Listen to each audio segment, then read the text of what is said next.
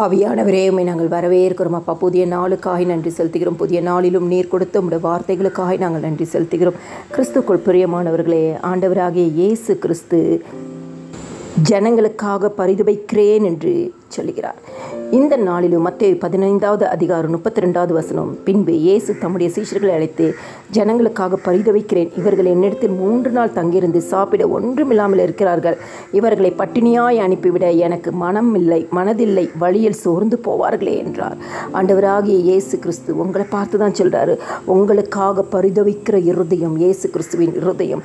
நீங்கள் சோர்ந்து போகாதபடி காத்து நடத்துகிற ஒரு தெய்வம் தான் இயேசு கிறிஸ்து. இந்த நாளிலும் ஆண்டு ஆண்டவர் இந்த வாக்குத்த வசனங்களை உங்களுக்கு கொடுக்கிறார். கிறிஸ்துக்குள் பிரியமானவர்களே இந்த வார்த்தைகளை நீங்கள் பிடிச்சு கொள்ளுங்க. ஆண்டவராக இயேசு கிறிஸ்து உங்களுக்காக பரிதவிக்கிற இயேசு என்பதை நீங்கள் அறிந்து கொள்ளுங்க.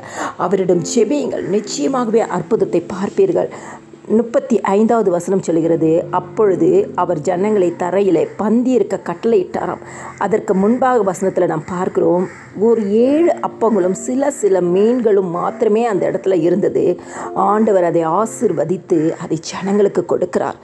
இந்த நாளிலும் ஆண்டவரே ஒவ்வொரு நாளும் உம்முடைய சமூகத்துக்கு வர பிள்ளைகப்பா சோர்ந்து போய்விடாதபடிக்கு அவர் தே அவர்கள் தேவைகள் எல்லாம் நீங்கள் சந்திங்கப்பா சந்திங்க. இந்த காலை வேளையில் உண்மை தேடி வந்திருக்காங்கப்பா ஜெபிக்க வந்திருக்காங்கப்பா உங்களுடைய வசனத்தை கேட்க வந்திருக்காங்கப்பா. ஆண்டவரே இவர்கள் மேல் நீ மனதுருகிற தெய்வம் ஏசப்பா பரிதவிக்கிற ஏஸ் தேவன் ஏசப்பா ஆண்டவரே இவங்க சோர்ந்து போகாதபடி இவர்களை நடத்துகிற தெய்வம் ஏசப்பா இந்த வார்த்தையின்படியே அன்னைக்கு நேற்றும் இன்றும் என்றும் மாறாத இயேசு கிறிஸ்து அன்னைக்கு ஆண்டவரே ஸ்தோத்திரப்பா. உம்மிடத்தில் தங்கியிருந்த ஜனங்க சோர்ந்து போயிடுவாங்களே பட்டினியாக போயிடுவாங்களே. நீங்கள் ஆண்டவரே பரிதவித்த உடைய இறுதியம் இன்னைக்கு காலை வேளை ஜெபத்தை கேட்டு உடைய வசனத்தை பார்க்குற ஒவ்வொரு பிள்ளைகளுடைய தேவைகளை சந்திங்கப்பா.